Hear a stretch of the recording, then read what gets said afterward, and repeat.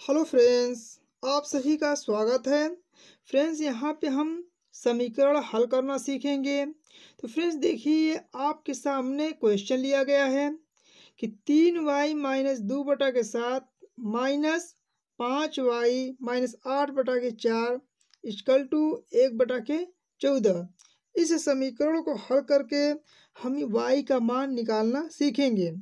Friends, इस प्रकार का जब भी आपके सामने क्वेश्चन आए तो सबसे पहले यहाँ पे इसके हर को देखते हैं। देखिए फ्रेंड्स, यहाँ पे हर को देख रहे हैं तो हर क्या है? अलग अलग है। तो पहले क्या करेंगे कि जब हर अलग अलग होता है तो इसका आप एलसीएम निकाल के भी हल कर सकते हैं, या इसका तिरक गुड़ा करके भी हल कर सकते हैं। तो फ्रेंड्स, यहाँ पे हम तिर्यक गुड़ा मतलब गुड़ा हल करके सीखेंगे। देखिए फ्रेंड्स यहाँ पे करना क्या है आपको कि पहले क्या करेंगे कि इस चार के गुणा है, तीन वाई माइनस दो में गुणा करना है। कैसे करेंगे? देखिए यहाँ पे लिखेंगे चार कोष्ट में, यानी कि तीन वाई माइनस दो। देखिए मेरे कहने का मतलब ये है कि इसका गुणा इस वाली संख्या में करेंगे। देखिए फ्रेंड्स यहाँ पे माइनस चिन्ह है तो यहाँ क्या लगाएँगे? माइनस अब इस सात का गुणा इसमें करेंगे, ठीक है? यानी कि सात कोष्ट में पाँच वाई माइनस आठ, ठीक है? अब क्या करेंगे अगला स्टेप में फ्रेंड्स कि अब सात का तिरिय गुणा किसमें करेंगे? चार में। तो यहाँ पे लिखिए। सात गुणे चार। और जो ये एक बटा के चौदह तो इसी तरह एक बटा के चौदह यहाँ पे आप उतार लीजिए। ठीक?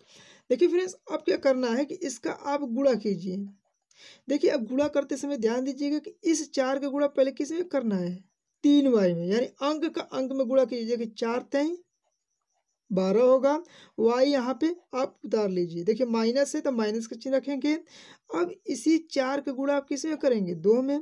चार का जब दो में गुड़ा करेंगे, चार गुणा के आठ होगा। देखिए फ्रेंड्स, यहाँ पे आप गुड़ा कर चुके हैं। अब अगला स्टेप में क्या करना है फ्रेंड्स ये माइनस का चिन्ह है तो माइनस का चिन्ह रहने दीजिए। अब सात का गुणा इसमें करना है, पाँच में। तो कितना हो जाएगा? सात पचे पैंतीस। और देखिए फ्रेंड्स जब भी कोष्टक के बाहर यदि ऋण का चिन्ह होता है तो उसको कोष्टक में रखते हैं। इसको कोष्टक में रखिएगा। और यहाँ पे वाई है तो वाई रहने दीजिए।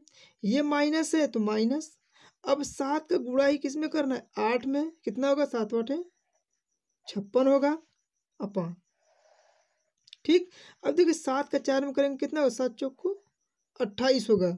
बराबर कितना दिया? एक बटा के चौदह। ठीक है? अब फ्रेंड्स, यहाँ पे आप एक बात ध्यान दीजिएगा कि इस साइड की जो संख्या अंश हो गए, ये हर हो गए। इधर भी अंश है हर। इसमें यदि हर की संख्या, इस वाली संख्या से ये संख्या कट रही है तो यहाँ पे हम कटा देते हैं, जिससे थोड़ा सिंपल हो जाता है। देखिए, आप क्या करेंगे फ्रेंड्स? या इसी प्रकार अभी रहने दीजिए। क्या करना है? देखिए यहाँ पे। यहाँ पे कितना है? बारह वाई। ये माइनस आठ है। जब कोष्टक के बाहर का चिन्ह होता है तो अंदर का चिन्ह बदल देते हैं। जब अंदर का चिन्ह आप बदलेंगे फ्रेंड्स तो कितना जाएगा? माइनस पैंतीस वाई। और ये माइनस है तो ये कितना हो जाएगा? पाँच छप्पन हो जाएगा। बराबर। देखिए, यहाँ पे इसको लिख लीजिए, कितना है? अट्ठाईस। ये कितना यहाँ पे है? एक बटा के चौदह।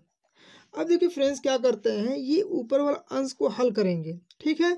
और इस संख्या का गुणा इस इस साइड कर लेंगे, यानी कि यहाँ पे अट्ठाईस लिखा है तो अट्ठाईस का गुणा कहाँ पे करेंगे? एक में करेंगे, ठीक है?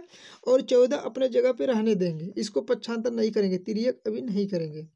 देखिए फ्रेंड्स यहाँ पे आपको क्या करना है कि अक्षर वाली संख्या जो जुटेगा, जोड़ देंगे और घटेगा, घटा लेंगे। तो देखिए, बारह वाई है प्लस में माइनस पैंतीस है, यानी कि पैंतीस में से बारह घटेगा।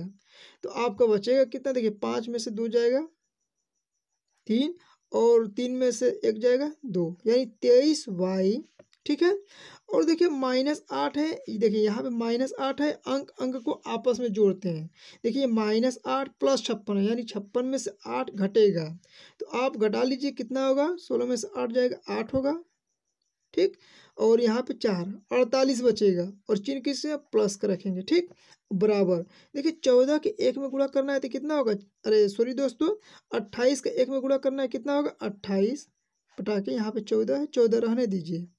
अब क्या करना है फ्रेंड्स, कि यहाँ पे देखिए, चौदह से अट्ठाईस कट रहा है ना, देखिए, यहाँ पे लिख लेते हैं, थोड़ा दिखाते हैं आपको फ्रेंड्स। यहाँ पे देख लीजिए, चौदह से अट्ठाईस कट रहा है तो यहाँ पे कटा दे, देखिए, चौदह एक एम, चौदह चौदह के अट्ठाईस, दो बार है। अब अगला स्टेप फ्रेंड्स क्या करते हैं कि अंक वाली जो संख्या होती है, उसको एक साइड रखेंगे, अक्षर वाली संख्या जो होती है, उसको एक साइड रखते हैं। तो फ्रेंड्स यहाँ पे देखिए आप क्या करना है कि यहाँ पे तेईस वाई रहने दीजिए, ठीक? इसके बाद यहाँ पे देखिए दो है तो यहाँ पे दो रखने दीजिए। अब इस अड़तालीस ये संख्या है तो इसको दूसरे साइड पच्छांतर कर लेंगे। जब इसको हम दूसरे साइड पच्छांतर करेंगे तो ये प्लस अड़तालीस से तो इधर आगे कितना हो जाएगा? माइनस अड़तालीस, ठीक है? एक फ्रेंड्स, यहाँ पे ध्यान दीजिएगा कि यहाँ पे थोड़ा सा मिस्टेक ये हुआ है। कि पैंतीस में से बारह घटा है तो यहाँ पे पैंतीस के सामने चिन्ह किस माइनस का तो यहाँ पे माइनस लेके चलते हैं ना। देखिए, यही पे हम मिस्टेक कर लिए थे। अब देखिए फ्रेंड्स, क्या करते हैं? अगला स्टेप आपका होगा। अगला स्टेप है क्या फ्रेंड्स आपका? कि यहाँ पे देखिए माइनस तेईस वाई तो माइनस तेईस वाई रहने दीजिए। बराबर कितना है? अब देखिए अड़तालीस में से दो घटाएँगे, कितना है बचेगा? छियालीस और अड़तालीस में से घटा रहे हैं दो तो अड़तालीस सामने चिन्ह किस चीज़ माइनस का तो यहाँ पे क्या करेंगे? माइनस रहने देंगे। ठीक है? अब देखिए फ्रेंड्स, आपको करना क्या है कि माइनस, यहाँ पे वाई का मान ज्ञात करना है तो वाई को यहीं पे रहने दीजिए। और इस तेईस को जब पच्छांतर करेंगे तो ये क्या हो जाएगा? माइनस छियालीस बटा के, ये आप माइनस तेईस नीचे आ जाएगा। तो यहाँ पे कितना हो जाएगा फ्रेंड्स? तेईस। ठीक है फ्रेंड्स? अब देखिए फ्रेंड्स क्या करना है आपको? कि तेईस से, देखिए, माइनस से माइनस कट जाएगा, ठीक?